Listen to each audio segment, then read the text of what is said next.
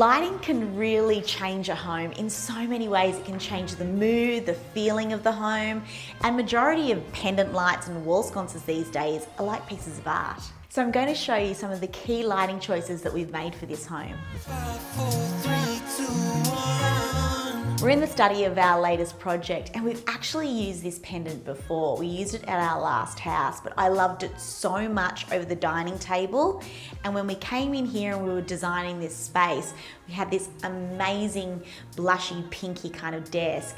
And I knew that soft, really washed out timber and the shape would be perfect.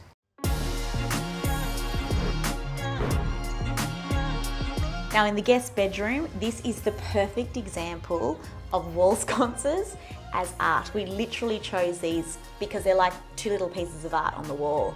And the beauty about these is this room's really soft, muted, and these are gold and fabulous and just add that tiny little bit of glam.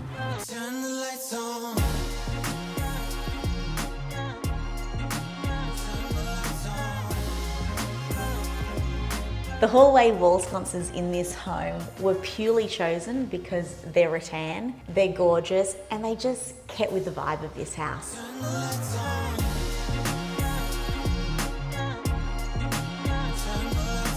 We kept it really simple in the boys' bathroom, quite modern, very simple, and a little bit masculine.